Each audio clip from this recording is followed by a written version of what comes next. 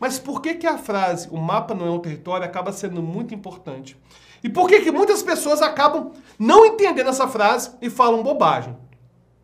Tem gente que acha que mapa não é o território é para justificar a pessoa que é anti-vacina, que é para justificar pensamento envolvendo terra plana, não é? Não, tem nada a ver. Na verdade, o mapa não é o território envolve um outro tipo de elemento. Na verdade, quando Korzybski, em Science and Sanity, na é, Ciência e Sanidade, fala do mapa não é o território, ele está usando o termo mapa não é território de forma parecida com o Baudrillard, que até comentei lá no meu vídeo do Matrix, que é aquela ideia que a gente não interage com a realidade externa e a gente interage a partir de símbolos, a partir de representações. Era isso que ele queria dizer. Só que na PNL, devido à influência da psicologia humanista, o mapa não é o território, na verdade, se conecta a um elemento central da psicologia humanista na terapia, que é a aceitação positiva incondicional.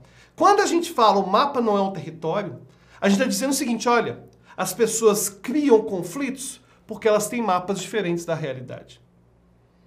Imagina os mapas de alguém que nasceu na periferia, no ambiente fragilizado, o mapa de alguém que nasceu na Zona Sul, o mapa de alguém que é militar, o mapa de alguém que é médico, o mapa de alguém que é professor. Cada experiência de vida vai ter suas próprias eliminações, distorções e generalizações. E aí vai vir aquela necessidade de aceitação positiva e incondicional. Porque se na terapia surge um confronto de mapas muito intenso, surge um conflito tão grande envolvendo mapas, tão grande, tão grande, tão grande, que para ter aceitação positiva e incondicional, eu acabo precisando completamente de entender que o mapa não é o território, entender que na verdade aquela pessoa tem mapas que são incompatíveis com os meus e que eu tenho que aceitar no contexto terapêutico, aceitar as ideias do outro sem julgamento para poder criar empatia, criar conexão. Observa que não faz sentido levar essa questão do mapa não é um território para uma discussão envolvendo ciência. Tem gente que faz isso, né? Eu falo, por exemplo, olha, não temos nenhuma evidência de que a homeopatia funciona. E realmente não tem, né? Na verdade, a homeopatia funciona sim, funciona, mas funciona devido ao efeito placebo. A homeopatia não funciona devido a outros elementos. Não.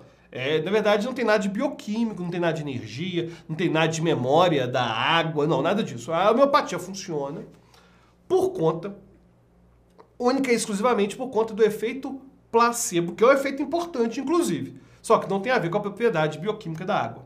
Aí eu falo isso, as pessoas vão chegar aqui no canal e falar assim: Ô oh, Rodrigo do canal Noticioso, tira o Alberto, que o Alberto não entende, não aceita as crenças das pessoas porque o mapa não é o território. Não tem nada a ver. Porque quando eu estou falando de ciência, não tem que falar de mapa não é o território, porque, claro, a ciência não é realmente o território. A ciência é o modelo explicativo do mundo. Mas a ciência vai trazer o modelo explicativo do mundo que é mais adequado. E não tem que discutir, não temos que entrar em debate envolvendo temas científicos e trazer coisas que são tiradas de qualquer lugar, entendeu?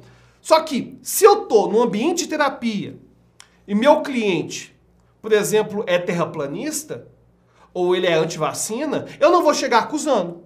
Por mais que tenhamos muitas evidências científicas envolvendo vacina, envolvendo a esfericidade da Terra.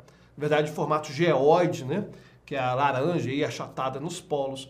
Então, o mapa não é o território, na verdade, vai nos trazer essa ideia, vai nos trazer essa concepção de que, na verdade, aquilo que a gente sabe do mundo sempre vai ser distorcido, sempre vai ser falho.